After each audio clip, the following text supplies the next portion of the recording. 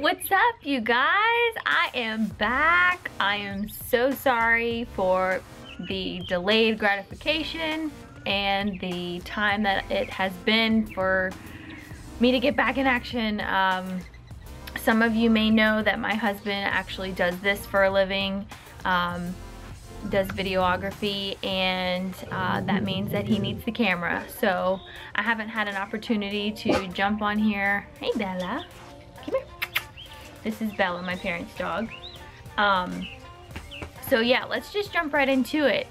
I, uh, I want to pick back up where we left off from the last video, um, getting um, to the events leading up to my surgery. I went to the Philadelphia Hand Center conference, not only for education, but I knew that there would be hundreds of hand therapists there that could give me advice. Not only that, but I knew the speakers that would be talking would be doctors who I could get some ideas off of um, for my own personal gratification.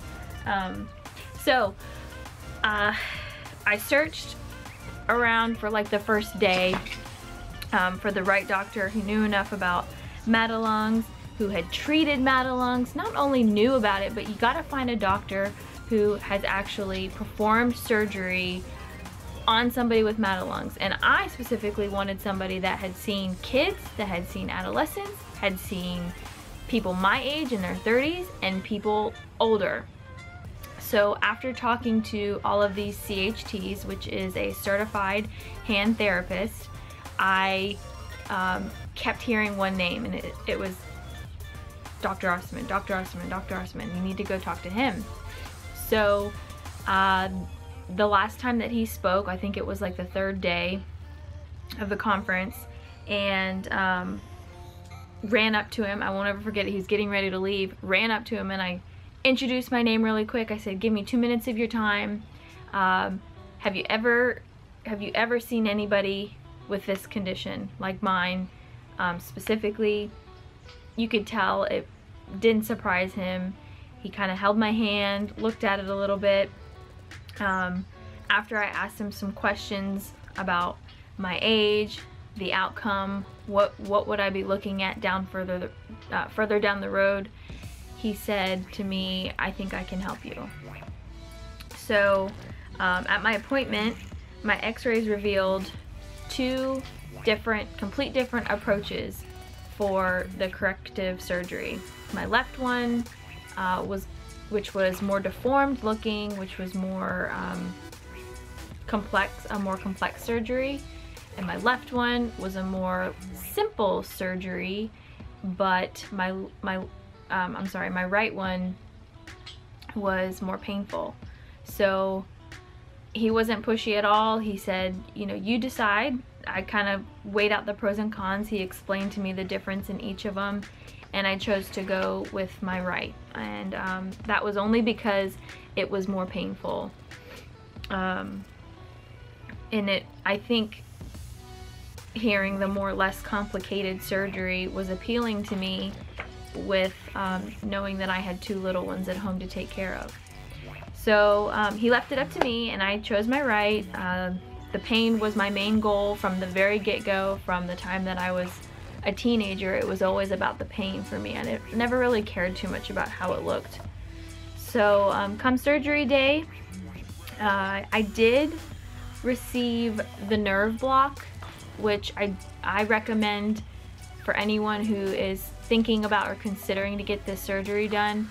Um, they, they block the nerve and they insert a needle through your neck. And essentially it just numbs your whole arm It's kind of like you're paralyzed.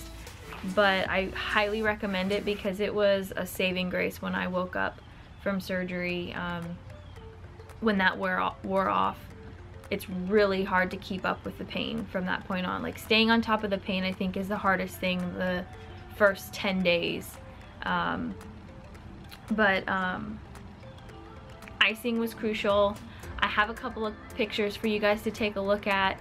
Here is where I really depended on my support group and my village of people to help me keep keep up with the icing, elevating, um, because that first acute phase, you, um, you really can't do much with your hand.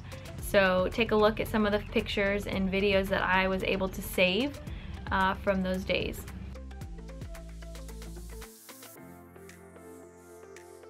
Okay, so I also wanted to share with some of you um, the specific procedure that I had done.